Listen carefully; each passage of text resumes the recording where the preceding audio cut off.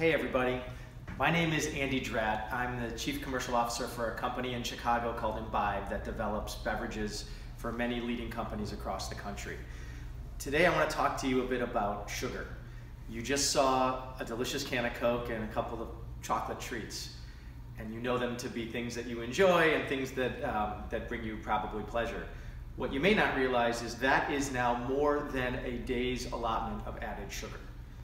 In 2020, the FDA is requiring all companies to change the way they list ingredients and nutritional values on a product label to include added sugar and has finally come up with a recommended daily allowance for added sugar at 50 grams.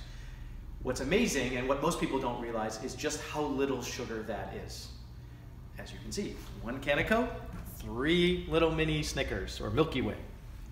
Um, as a beverage developer, sugar is a key ingredient that we work with all the time. It's a big part of what makes products taste good, um, and it is certainly, sweetness is something that consumers are always looking for.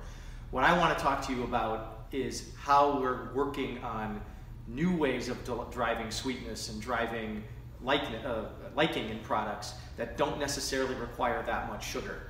Because uh, as I think we all know, uh, uh, consumers are already shifting to a healthier diet. They're more concerned about their nutritional intake. Uh, the nature and size of foods is changing. The way people eat more snacking and not big meals it's a big change. And as consumers get more aware of the impact of sugar in their diets and have more visibility into it because of the new labeling that's coming into effect, we anticipate that there's going to be a major change in, the, in what consumers are looking for in their food and beverage products. And as developers in that space, we've got some pretty unique insight as to how to get that done.